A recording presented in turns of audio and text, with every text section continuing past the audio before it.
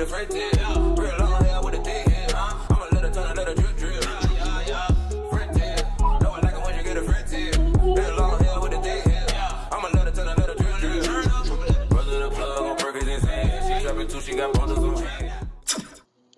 Hey you guys, welcome back to my channel. As you guys can see, we're working with the V-Show hair today.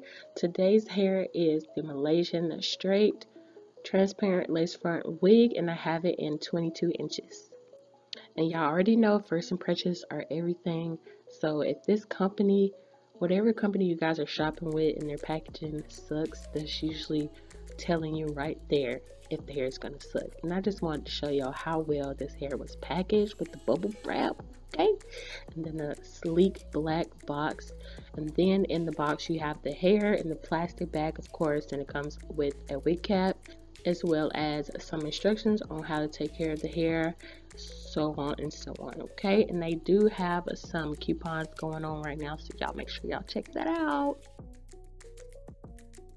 So first impressions on the wig itself. This wig has four combs. It has a three behind the frontal and one in the back. You also have your transparent lace in the front and a little bit of transparent lace in the back along with adjustable straps and you guys can see this hairline is bomb.com honey okay? It is pre plucked along the entire hairline. So for you beginners out there this is the real tea all this that I'm talking about you guys basically means all you really have to do is just put the wig on and apply your adhesive literally. And this clip right here I'm just showing you guys how the wig looks in total now, this wig came thin and I believe this is in 130 density. And you guys know I don't do long wigs if it ain't 180 and above. So that's why I decided to do this transformation video and I'm about to cut this baby, okay? And another up close of this transparent lace. I love transparent lace probably one of the best lace besides HD out there.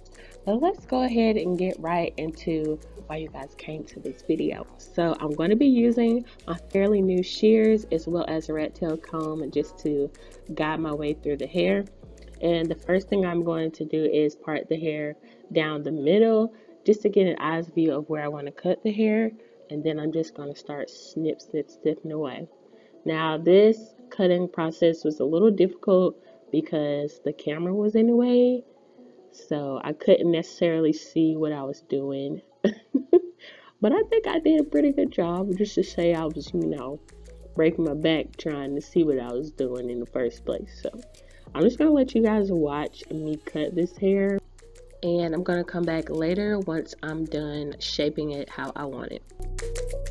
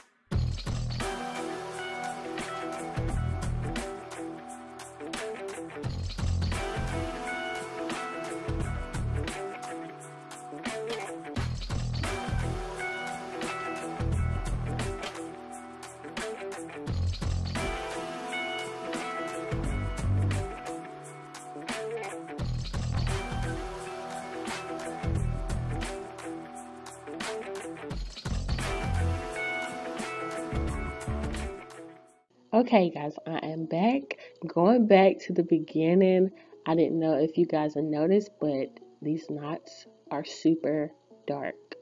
So you already know, I'm about to go ahead and bleach these things, okay?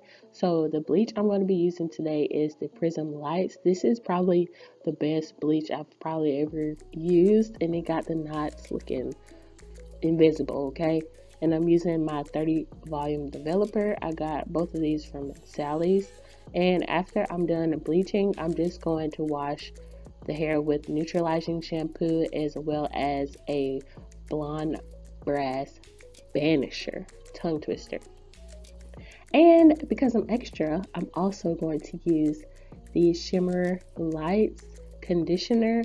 That's for blonde and silver hair just to cancel out any orange or yellow, and as well as my cholesterol deep conditioner cream. So that's a lot, but that's what I did. And this is how the hair turned out. The knots look so good. And this is with one bleach. If you guys want to get rid of the bleach, I mean the knots completely, go ahead and bleach the knots twice. I only did it once and it looks really, really good. It looks way better in person. The camera is just like, girl, I'm about to show flaws and all. So, but that looks really good though compared to how the knots were in the beginning. I want to, y'all can go ahead and start plucking out those unbleached knots, but I decided not to because usually I don't bleach my knots anyway.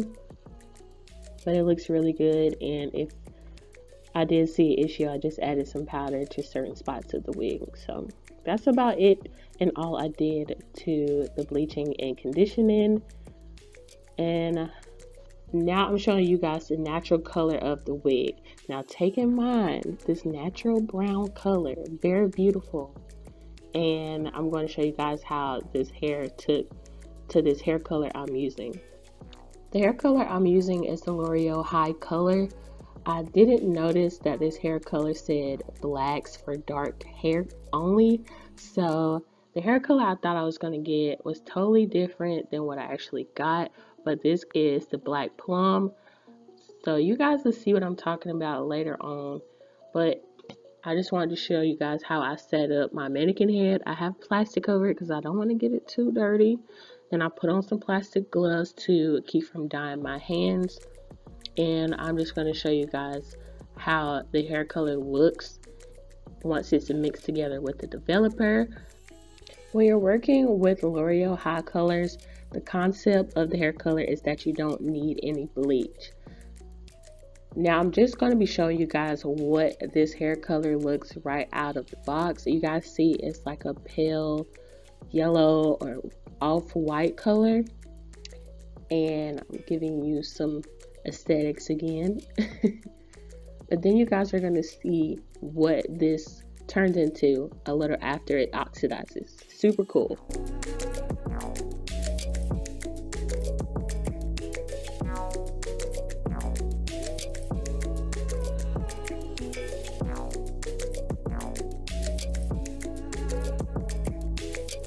Now y'all can kind of see once I start mixing the developer in with the color, it's turning it like a pale pink salmon color. But y'all see that this hair color starts to get darker as time goes on. I'm not using any brushes or anything to get the color color get the color onto the hair. I'm just using my hands just to lather up the hair in this color. And I will be using a rat tail comb to comb through it later on, but mostly just using my hands and slapping that color on there. Now y'all see right there is why I should have pinned the lace down. Cause now that the lace isn't pinned down, I'm gonna have to pick the wig up, hold the wig with my colored gloves, and the color is gonna get into the lace and it's just a mess. So don't make that mistake. Y'all pin your lace down to your mannequin head so the lace doesn't get dyed, okay?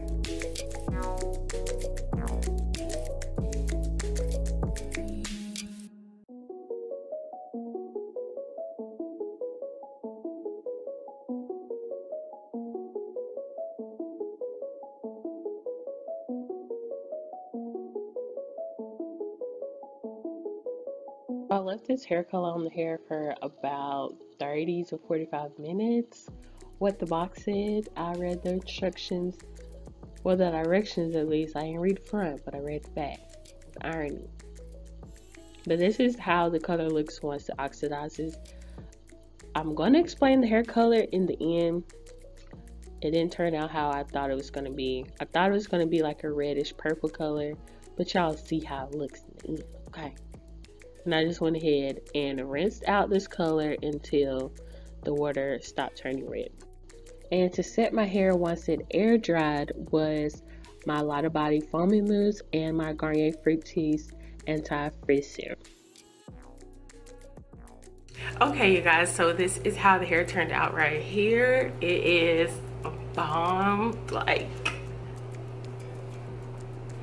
haven't done a bob in so long and I'm loving it. If you guys have been watching me for a while, then you guys know that V-Show's bobs, like most of their bobs, I've tried their water wave bob and I just cut this hair into a bob and it looks so freaking natural you guys.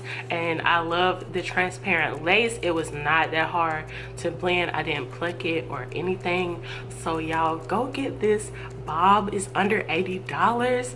If you guys get it in 22 inches it's going to be some more. But if you guys would have just got it as a bob in the first place it's going to be under 80 dollars but the whole point of this video was just a hair transformation. If you guys are going to get a bob make sure you guys get it 130 density so it's not too thick. And if you get inches longer than 20 make sure you get 180 and above.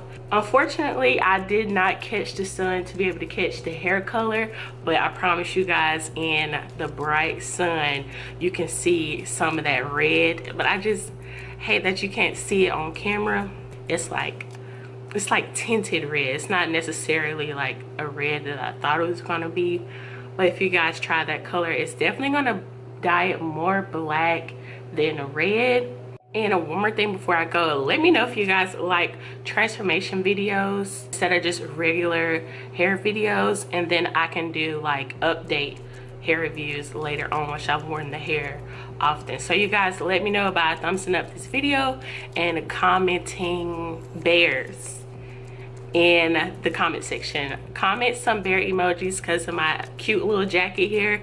And then you guys will let me know. So I hope you guys enjoyed this video and I will see you all in the next one. Bye you guys.